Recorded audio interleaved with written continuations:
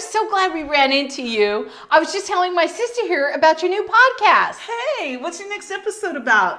I'll give you a clue. See you next Wednesday. Really? You can't just be direct and tell us who's in it? I'm a pepper, he's a pepper, she's a pepper, we're a pepper. Wouldn't you like to be a pepper too? She always like this? Yes. I, you know, seriously, we just asked you a simple question. What is wrong with you? I don't know still friends with this woman. Oh my god. You see how fat her ass is? Oh my gosh, totally. What? What's wrong with my ass? I work out.